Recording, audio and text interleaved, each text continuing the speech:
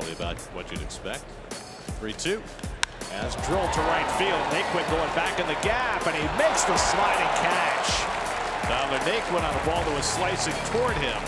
Able to get over there and make the play to end the inning.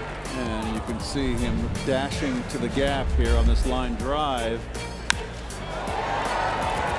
Can't really tell, but watch him now make the. Yep. Boy, told uh, Nimmo, oh boy, that light's got in the way. Goldschmidt has one of the two hits for the Cardinals tonight. He drives this one to deep left field. Back goes Canha. Back near the wall. Makes the running catch. What a play.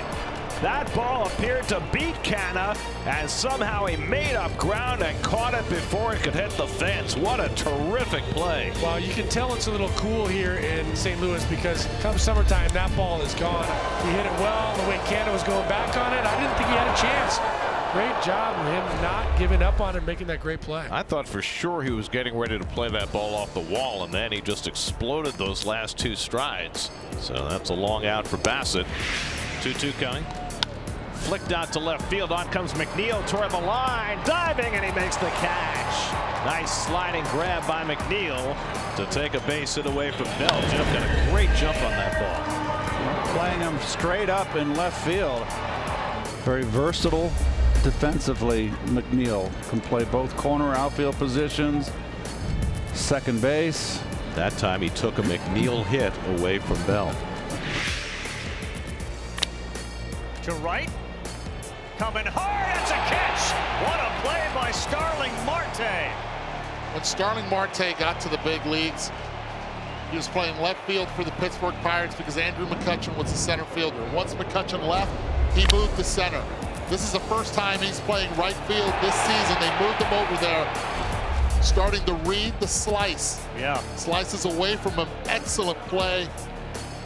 Going right there to his left, showing the athleticism. No substitute for speed and talent. It's exactly what Marte has. Now that's a heck of a play by Marte. If he doesn't make that play, we, we may be tied. Renfroe's a big, strong kid. He's got 10 home runs on the year. And he lines this one to left center, chasing in the gap is Nimmo diving, and he made the catch! Oh, wow! As good a catch as we've ever seen Brandon Nimmo make. Streaking into the gap, headlong dive, and caught it on the backhand. An effort by Brandon Nimmo. Watch Brandon top your screen. Little late break, not bad, but boy, oh boy. That is spectacular. Laid out, wonderful catch, and very much appreciated appreciated by Mr. Bassitt.